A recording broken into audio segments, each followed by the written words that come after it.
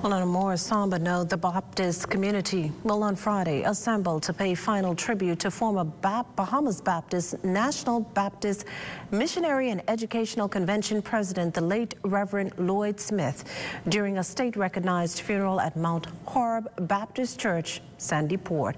His body will lie in repose at William Thompson Auditorium on Jean Street in Gleniston Gardens between 9 a.m. and 5 p.m. tomorrow. The senior clergyman died on July 22nd. He was 74 years old.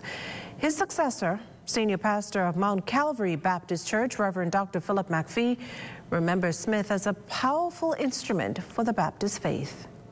When he first came in, he pronounced major involvement uh, in terms of ar architectural buildings, in terms of uh, fixing our schools, um, build a swimming pool, um, major other areas of development in the Baptist faith.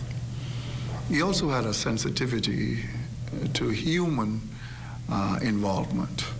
Uh, he was concerned about the left out and downgraded and unfortunate